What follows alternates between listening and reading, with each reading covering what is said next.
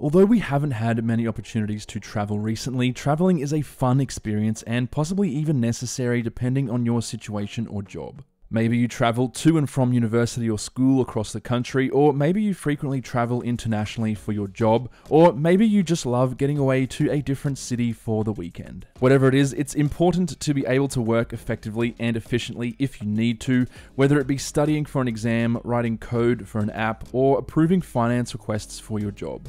In this video, I'm going to show you my Mac travel desk setup, perfected from years of international and interstate travel, either for work or for pleasure. While the setup is relatively lightweight and minimal, it still allows me to have a high level of productivity no matter where I am on the planet. Also, big thanks to Skillshare for sponsoring this video. I've used Skillshare a lot recently to improve the quality of my content, but more on that later. Let's start with the big stuff, the bag. If you're not familiar with the term one bag, I encourage you to do some research into it. In a nutshell, it means traveling with a single bag, whether you're going away for the weekend or a four week international holiday. My most recent international trip was to France and Russia for two weeks, and I took a single 35 litre bag. Sounds a bit crazy, right? Well, actually, it was great only having a single bag, no waiting at the baggage carousel after a flight, no checking in bags, and being able to go anywhere and do anything because I didn't have a big roller bag to lug around.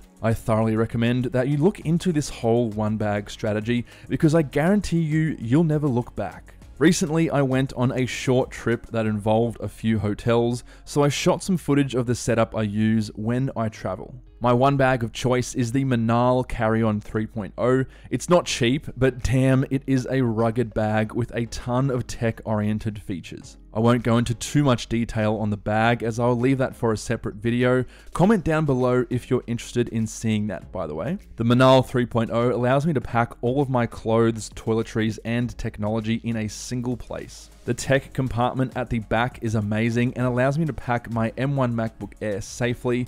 You can see the design suspends the laptop in the middle of the bag, so even if I drop the bag on concrete, the laptop will not hit the ground and the bag absorbs everything. And yes, I've tested this several times. My computer of choice is a base model M1 MacBook Air. I can do pretty much anything on this machine, including some basic 4K editing and rendering. I do have the thermal mod applied, which gives me roughly an extra 15% more performance at the cost of the back chassis getting much hotter during intensive use, such as rendering a video. I have a video on this if you're interested, link in the top right corner. I chose the M1 MacBook Air because it's super powerful, lightweight, and isn't super expensive, so if it's lost or stolen, I won't cry for too long. The battery life is also amazing, which is perfect for travel, especially on long plane flights or at airports where PowerPoint access is limited. What about accessories and peripherals? Good question. But first, a quick word from our sponsor Skillshare. Skillshare is an online learning community for creatives where millions come together to take the next step in their creative journey. Skillshare offers thousands of inspiring classes for creative and curious people on topics including content creation, design, photography, videography, and more. I've found Marques's Skillshare class, YouTube Success, Script, Shoot, and Edit with MKBHD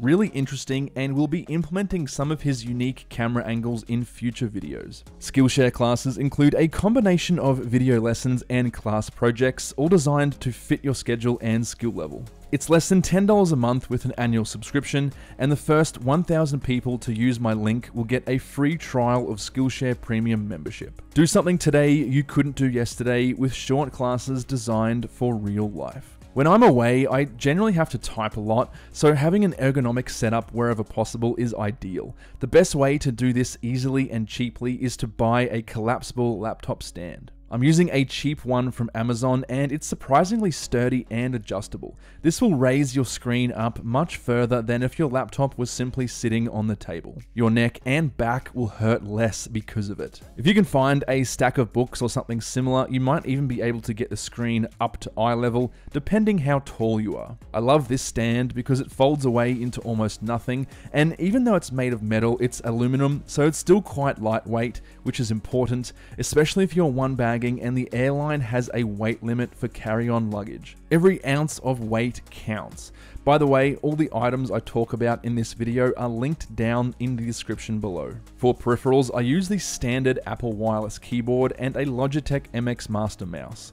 Starting with the keyboard, there's no real reason behind my decision. I've had this keyboard for three years from a previous job, so I don't care if it gets lost or damaged. Would I be better off with a much smaller and travel oriented keyboard? Probably, but then I'd have to go out and spend extra money on it. I usually spend at least one or two hours typing every day, so a proper keyboard is a welcome addition.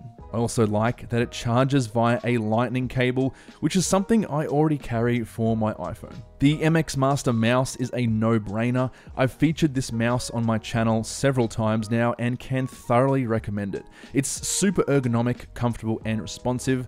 Like the keyboard, you can certainly get smaller and lighter mice, but for something you'll likely be using for hours every day, in my opinion, the slightly heavier weight and larger size of the MX Master compared to a slim profile mouse is not worth it. Make sure you bring a cheap, thin mouse pad too, because the surfaces of hotel desks may not be too smooth. By the way, all of this is stored neatly in the back compartment of the Minaal 3.0. Another super useful piece of equipment is the Anker 8-in-1 USB-C hub.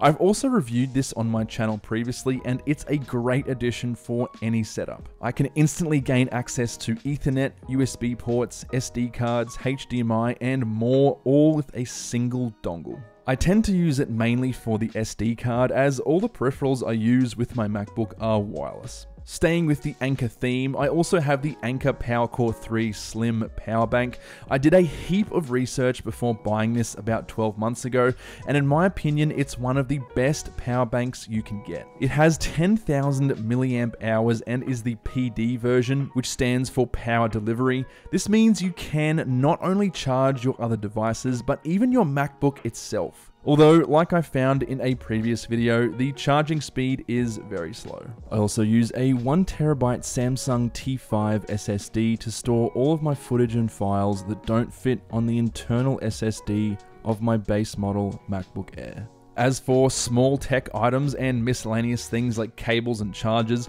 I keep them all in the Peak Design Tech Pouch. Just like the Minaal bag, the Tech Pouch is rugged and very well designed, with an incredibly intuitive origami-like interior. If you're interested in this bag and what I have inside it in further detail, I have a review on it on my second channel that I'll link below and up in the top right corner of this video. And that is pretty much it. Like I mentioned before, I've implemented one bagging into my travel setup, so although it looks like I'm taking a heap of gear with me, it's still relatively lightweight and minimal, allowing me plenty of space for clothes, toiletries, and other miscellaneous travel items like travel plug adapters or even a raincoat for wet weather. Everything fits into my 35 litre Minaal 3.0 bag, and the whole setup weighs under 8 kilos. Now, I will be refining this setup over the years, but for now I love it as it allows me to work at a consistent level of productivity from anywhere in the world. Anyway, thank you for watching this video. If you want to check out anything I've featured in this video, links are in the description down below. But apart from that, I'll catch you in the next one.